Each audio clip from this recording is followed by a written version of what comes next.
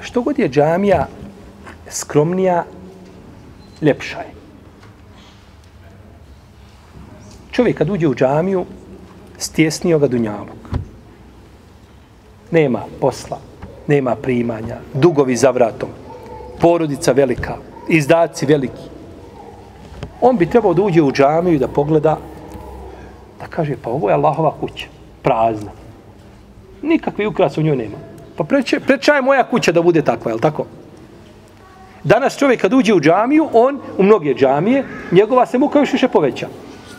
To vidi oko sebe, veš, to su, a tako. Imate džamija gdje uđeš, samo kažeš, maša Allah, te barak, šta je ovo?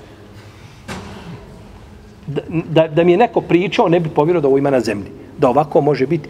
Nismo mi protiv da ljudi imaju džami, da lijepa bude džamija, da budu ovaj, taj nekakav luksus koji pomaže ljudima, klima, uređaj, ne znam, rasvjeta, sve što im koristi lijepa abdesana, sve to nije problematično.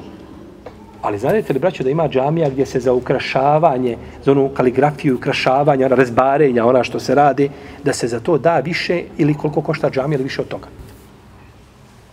Ja sam gledao u džamiji gdje je dato 50.000 eura za, za te detalje i momente. Kad uđeš da vi posebno ljudi došli, prevalili 3000 km da to urade. 50.000 eura. Ili možda čak i više. 56, 7 hiljada eura. To islam ne traži od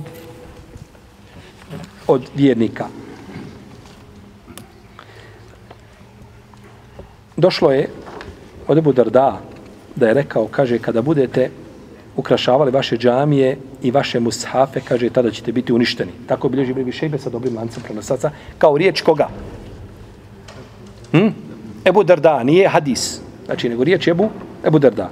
A došlo je hadisu kod Ebu Dauda i Ibn Mađi imam Ahmeda, za koga imam Neovi, rahimahullahu ta'ala, kaže da je vjerodostojan. Od danas Ibn Malika, da je poslanik, sam sam rekao, kaže, neće nastupiti sudnji dan dok se ljudi ne budu hvalili svojim džamijama. Pa je došlo u hadisu, komentar ovoga hadisa kod Ibru Raslana i kod drugi da kažu, e, doće ljudi sjede pa kažu, ovo je moja džamija ljepša, moja je veća, moja je takva, moja ima ovo, moje.